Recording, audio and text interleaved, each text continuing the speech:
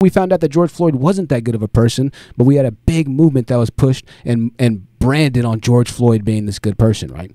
So much so that I mean, my God, if you if you spoke out against it, I mean, Jesus, white people were like, you know, you could as a white person, you could not speak against George Floyd. You were going to go down, especially on Twitter. Don't let the woke mob get you.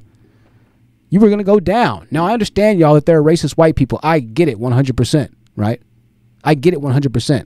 But a big problem that we're facing right now is that there's going to be a lot more severely racist white people coming up here in a little bit with the way that the Democratic Party continues to move in America. And that's an absolute fact. Just like Tyler and Naz, who go through these YouTube streets fucking up people's lives in real life, just like Cynthia G, who goes through these YouTube streets giving people effed up advice in real life, only for the people eventually to realize, like, oh, you know what, these people, man, know, these people really didn't have our best our best intentions at heart. Well, you know, you just hope that by that time it's not too late and you haven't taken enough of your own personal actions into somebody else's mouths and words or lifestyles, right? You just hope that you haven't messed yourself over too much for somebody that really ultimately cares nothing about you. But that's exactly what's going on in the far left side.